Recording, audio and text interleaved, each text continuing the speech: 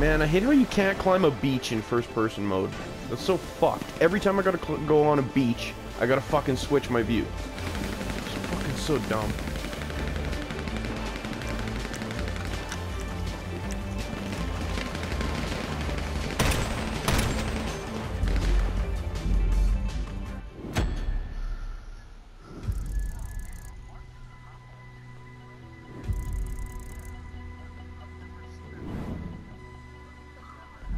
I might have sniped him. Is he in the fucking little shed?